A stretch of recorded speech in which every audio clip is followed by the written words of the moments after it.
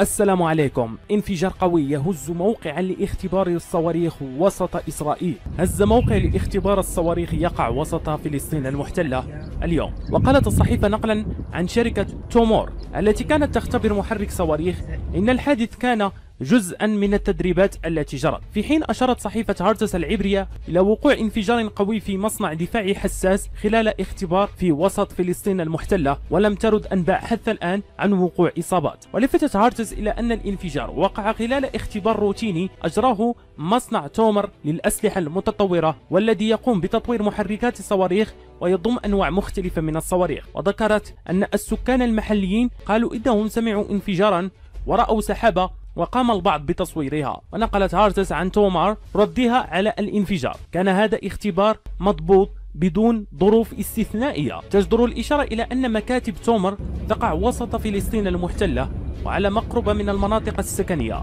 وأن الشركة تصنع صواريخ يستخدمها جيش الاحتلال وأنظمة الدفاع الإسرائيلية الأخرى. هذا ونشر الصحفي الإسرائيلي إيدي كوهين مقطع فيديو يوثق انفجارا كبيرا.